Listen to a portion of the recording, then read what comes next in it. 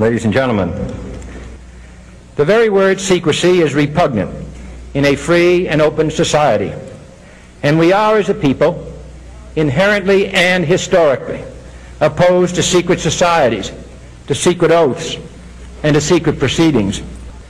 For we are opposed around the world by a monolithic and ruthless conspiracy that relies primarily on covert means for expanding its sphere of influence on infiltration instead of invasion, on subversion instead of elections, on intimidation instead of free choice. It is a system which has conscripted vast human and material resources into the building of a tightly knit, highly efficient machine that combines military, diplomatic, intelligence, economic, scientific, and political operations. Its preparations are concealed, not published. Its mistakes are buried, not headlined. Its dissenters are silenced, not praised. No expenditure is questioned, no secret is revealed. That is why the Athenian lawmaker Solon decreed it a crime for any citizen to shrink from controversy.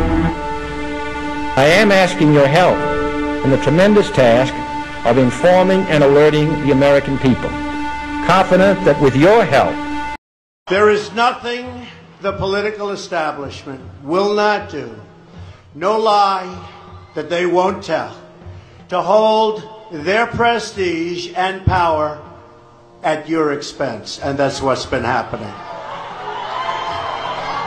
The Washington establishment and the financial and media corporations that fund it exist for only one reason to protect and enrich itself. The establishment has trillions of dollars at stake in this election. As an example, just one single trade deal they'd like to pass involves trillions of dollars controlled by many countries, corporations, and lobbyists. For those who control the levers of power in Washington, and for the global special interest. They partner with these people that don't have your good in mind. Our campaign represents a true existential threat like they haven't seen before.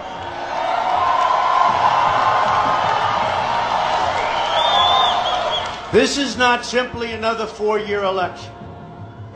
This is a crossroads in the history of our civilization that will determine whether or not we, the people, reclaim control over our government.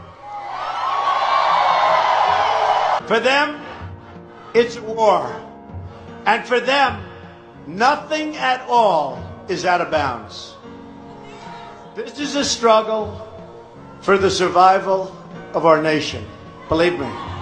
This election will determine whether we're a free nation or whether we have only the illusion of democracy, but are in fact controlled by a small handful of global special interests rigging the system, and our system is rigged. This is reality. You know it, they know it, I know it, and pretty much the whole world knows it. The establishment and their media enablers wield control over this nation through means that are very well known. Anyone who challenges their control is deemed a sexist, a racist, a xenophobe, and morally deformed. They will attack you. They will slander you. They will seek to destroy your career and your family.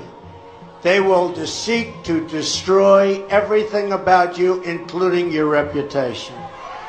They will lie, lie, lie, and then again, they will do worse than that. They will do whatever's necessary. The Clintons are criminals. Remember that. They're criminals. Our great civilization, here in America and across the civilized world, has come upon a moment of reckoning.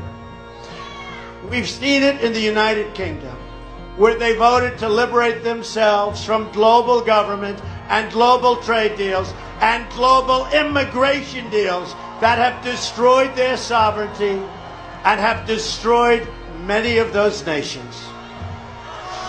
But the central base of world political power is right here in America. And it is our corrupt political establishment that is the greatest power behind the efforts at radical globalization and the disenfranchisement of working people.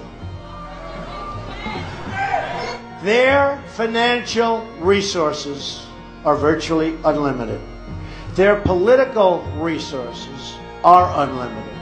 Their media resources are unmatched. And most importantly, the depths of their immorality is absolutely unlimited.